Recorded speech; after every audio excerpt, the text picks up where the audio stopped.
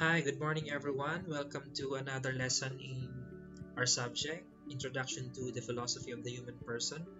Before we proceed to our uh, topic, let's have an exercise first. Um, let me see or let me know if you can do the following tasks.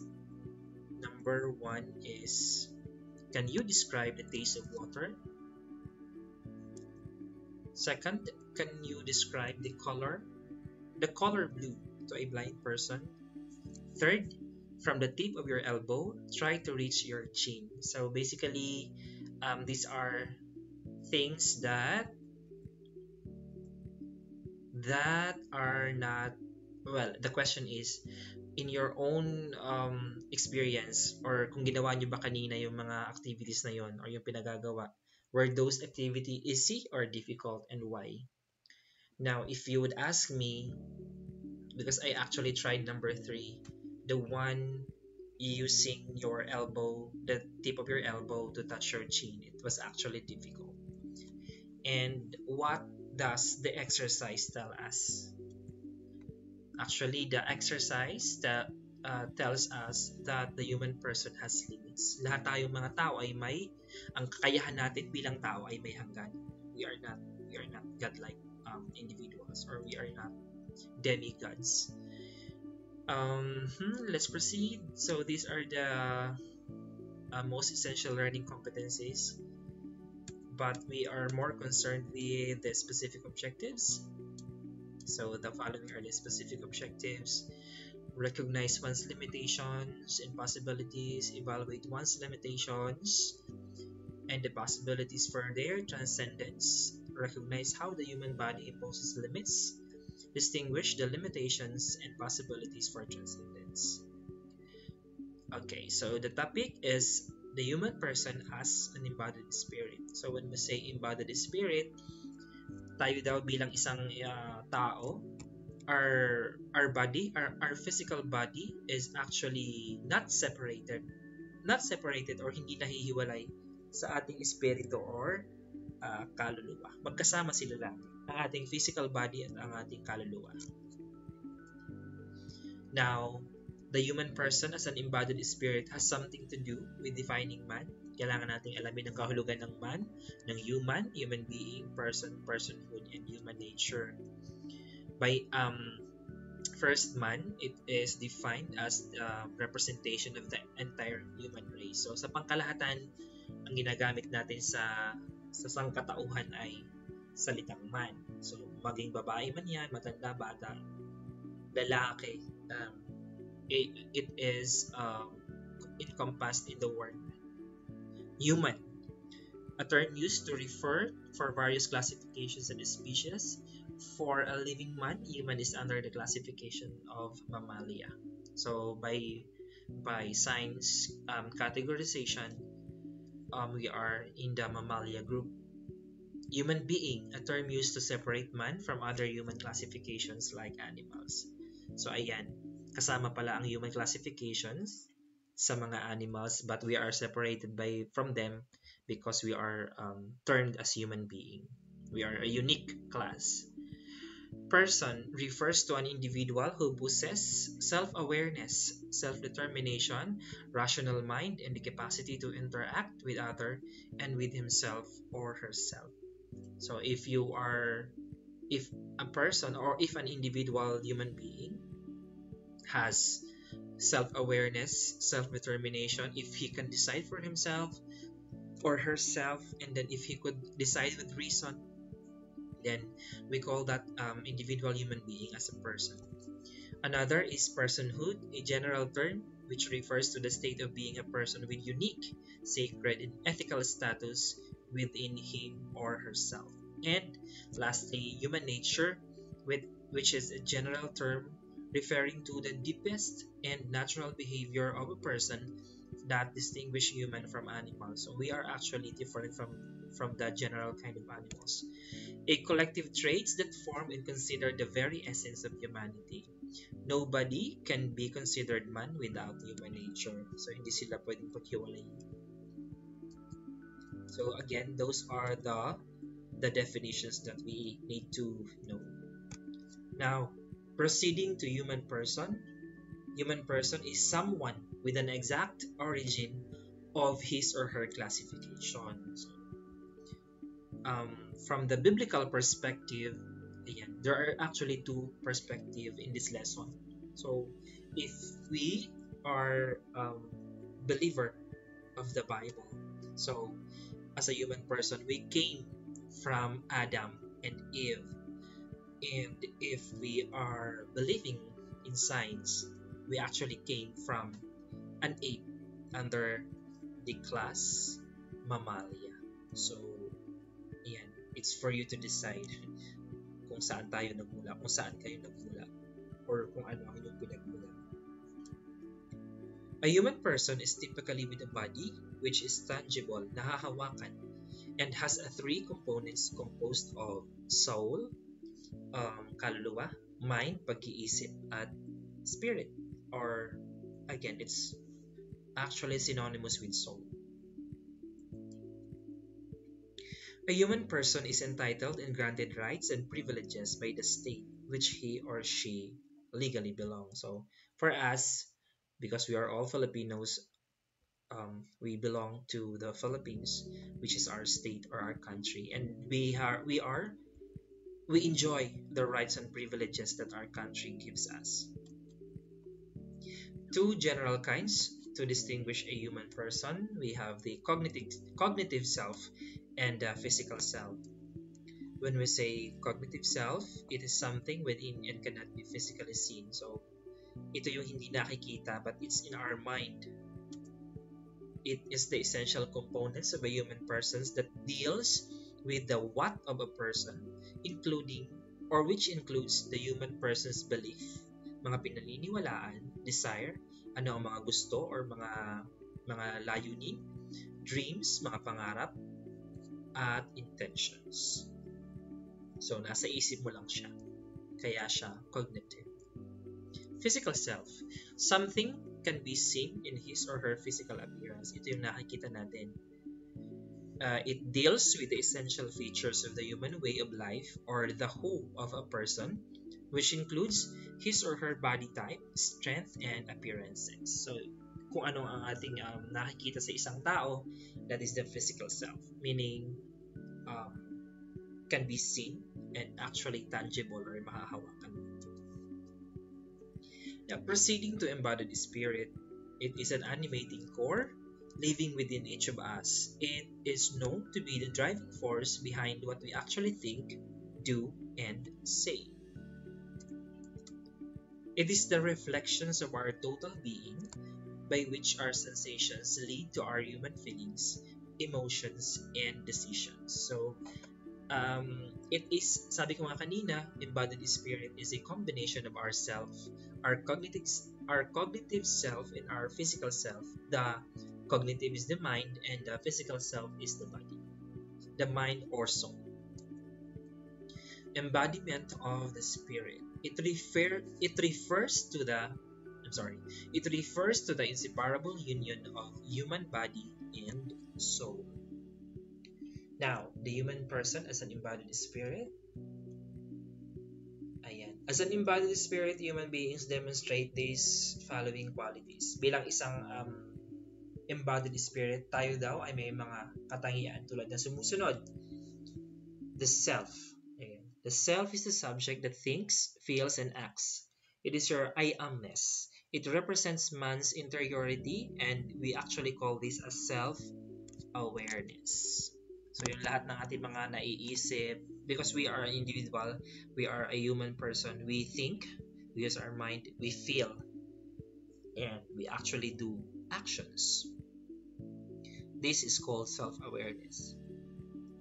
Number two, a human person is able to connect and interact with another person, an animal, or an inanimate object, and we call this externality. So, wala namang taong hindi nakikipag-interact sa mga tao, mga ibang tao. And um, because of that interaction and connections that we have with another person, um, we are actually having this um, quality, which means externality. Number three, which um, the quality of self-determination. We are not determined by others because we have interiority. We can direct the course of our own life. So when we say self-determination, you as a person actually decides for yourself. Kung anong gusto mong gawin sa buhay mo, gagawin mo. So, um, hindi ka, hindi ang ibang tao ang magdidesisyon para sa iyong buhay. It will be you. Number four, dignity. A human person has an inherent value and importance and this is what we call dignity. So hindi maaalis, walang katumbas na halaga ng pera ang ang maaring itapat sa ating dignidad. So as a human person, we have actually the rights right to life, right to liberty, and right to property as provided by our constitution. And that that rights and privileges that we have are are are uh, or it composes our our dignity as a human person. And those rights and privileges should not be taken from us. To sum up the qualities of the human person as an embodied spirit are a human person has self-awareness or awareness of self. A person has self-determination meaning you decide for yourself Number three, a person is able to reach out and interact with others. That's externality. And number four, a person has dignity. Now, one of the greatest theologian in the 13th century, named Saint Thomas Aquinas, said that all creatures, human beings, have the unique power to change themselves and things for the better. May mayroon daw tayong kakayahan para baguhin ang mga bagay-bagay or tayo ang sa, tayo ang sarili mismo natin. We can actually change our our ourselves. And um, this power is called transcendence. The power or our ability to surpass our limits. So, hindi tayo confined to our our limits. Although kanina sinabi natin sa panimula nating activity that persons or human beings has limitations but actually we can transcend that limitations that we have. Um, it is being able to transcend or to surpass your limit through your physical and mental abilities. So, alamin natin ngayon kung paano ba natin magagawa itong tinatawag na transcendence. So, isang halimbawa ay ang religion na tinatawag nating Buddhism. So, ano ba ang meron sa Buddhism? This is a religion um, founded by Buddha, as we all know. Um, yeah, okay. So, si, si Buddha, he was the one who realized that all people suffer. So, lahat daw tayo ay may um, what we call this suffer. Lahat tayo ay uh, may pinagdadaanan. Like that. We, we, do, we have problems. Um, tayo ay uh, may mga suffering na tinatawag. So maybe in your case, you just accept your own suffering as part of your life, but not for Buddha. So dahil nga na-realize ni Buddha na ang lahat ng tao ay magsusuffer, um, this reality ignited his his curiosity to examine and understand the word um, suffering. Now, proceeding, um, what what actually happened to Buddha in the 13th century was he left his royal life kasi mayaman siya. Iniwanan niya yung kanyang marangyang buhay and he spent his life for six years in the wilderness to find answers for his questions. And actually, what he did was um, he sat under a tree, which um, he called the tree of uh, enlightenment, for 40 days. And uh, after sitting in that tree of enlightenment, he found the answers to his questions on suffering. Bakit daw meron tayong um, undergoing pain, distress, or hardship. Bakit tayo ay nag bakit pinagdadaanan natin ang mga bagay na ito. And because of that, he found the four noble truth and eightfold paths. And yan ang ating pag-aaralan ngayon. We actually, um, we will focus on the eightfold path of Buddhism. So these are the eightfold path mga dapat mo daw tahakin, mga tamang bagay na dapat nating tahakin in order to achieve nirvana or enlightenment. Uh, first, right view, right intention, right speech, right action, right livelihood, right effort, right concentration, right mindfulness. So, iisa-isahin natin tong um, eightfold path ng ng Buddhism as a religion. First, right view um, right view is a correct understanding of the nature I go back of the nature of things specifically the four noble truths so tamang pananaw tamang tingin. Right intention eliminating thoughts of attachment detestation and harmful intent. So in order to achieve enlightenment according to buddha we should do away with harmful intent, attachment, detestation. Um, this this pertains to having a positive vibes in all the things that we do.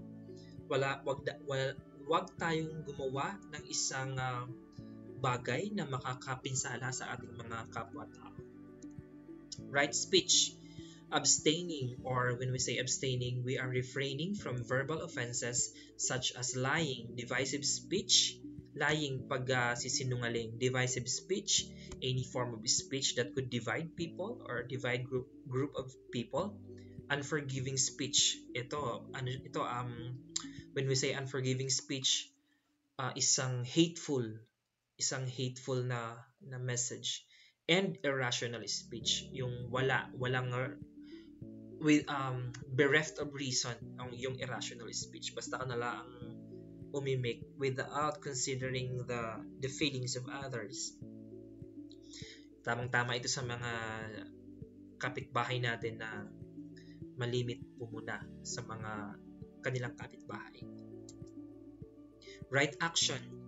Refraining from physical offenses such as murdering pagpatay, thieving, pagnanakaw, and sexual misbehavior or kalaswaan. So, we should do away with those things in order for us to find enlightenment. Uh, tamang paggawa. Number five, right livelihood or tamang hanap buhay. Evading, iniiwasan ang mga hanap buhay na directly or indirectly damage others. So lahat ng hanap buhay na nakapipinsala sa ibang tao. Such as trading slaves. So this was before kung saan uh, itong right livelihood na nagawa or na formulate ni Buddha was actually uh, done before. So there were slaves before and that was actually a prohibited um, thing or act. Trading of weapons animals for butchery intoxicants or poison. So ang sinasabi lang sa right livelihood is dapat magkaroon tayo ng isang hanap buhay na hindi sala hindi hindi mali sa paningin ng tao at sa paningin ng Diyos. Right effort. Um, forsaking undesirable states of mind that have already arisen, preventing undesirable states that have yet to arise, and sustaining positive states that have already arisen. So, tamang tamang um, tamang gawain, right effort. Oops. Iwasan daw yung mga hindi ka nais-nais na gawain. Right concentration, when we say um, right concentration, it means single-mindedness. So, ibig sabihin nito, kapag meron tayong gagawin, ay dapat nakafocus tayo. Sabi nga sa sa ating mga nababasa sa Facebook or sa any other social media um, websites, focus lang sa goal. So, that's actually um, and when you are focused in your goal with your goal should i say you should be uh, concentrating to that goal. Number eight right mindfulness consciousness of body feelings thought and phenomena. So we have this um, as a person we should be uh, conscious with our body. When we and if you are conscious conscious with your body it doesn't mean na um, magpaganda ka, magpa mag uh, you overdo on your consciousness. Uh, being healthy, healthy, um, taking enough hours of sleep, eating um, nutritious foods. That's mean that would um, tantamount to consciousness of your body. Consciousness of your feelings, on your feelings and thought. So, iwasan yung mga negative thoughts, iwasan yung mga um, bagay na nakasasama, nakakapisala sa ating mga pag-iisip, sa ating um, right um, mindfulness. So those are the values that um, the human person need to succeed. So sabi ko nga kanina, sabi nga natin kanina, should I say, um, although we have limits, kaya natin yung um, lampasan or isurpass. And if you could follow the eightfold path na ina-advance ng Buddhism, um, we can actually change ourselves, as mentioned by Saint Thomas Aquinas. So, to wrap up our lesson, try saying these sentences. Sabay-sabayan niyo ako. So, we begin with the first sentence. I am a person. Next, I am alive. I exist. I am here. I am present. I am living at this very moment. Again, I am a person. I am alive. I exist. I am here. I am present. I am living at this very moment. So those that is our lesson for uh, this morning. I hope that um, you gain additional knowledge with our lesson for today and for your activity in an Oslo paper or any uh, bond paper will do.